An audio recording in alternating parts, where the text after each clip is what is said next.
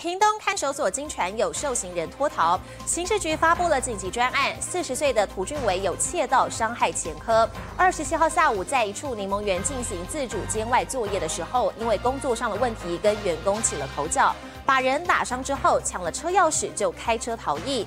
被打伤的员工脸部跟胸口有多处挫伤，还在住院观察。屏东看守所经传有受刑人逃脱，就是他四十岁的涂俊伟，身高一百六十五公分，特征身形瘦小，耳朵醒目，可能藏匿于全台。刑事局发布紧急专案查缉逮人，而在逃脱前，涂俊伟正在柠檬园进行自主监外作业，因为工作问题和里面的吴姓员工起口角。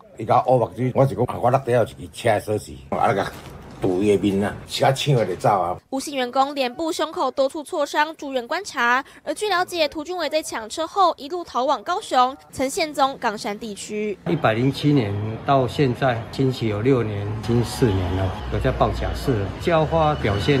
很正常。涂俊伟一百零七年一月因为偷车窃盗肇事逃逸，被判刑六年两个月。今年二月经过评选，刚获得自主监外作业资格，没想到才过一个多月，人就跑了。听说他昨天逃监之后有跑回来，是不是？有，他一定会回来，因为他他是口袋里没钱，隔壁邻居都偷呢。抢夺无名简装色头油卡之小客车钥匙，驾车逃逸，全力追击当中。受刑人打伤人后抢车逃脱，警方全力追击，就盼尽快将人逮捕归案。九苏市委平东报道。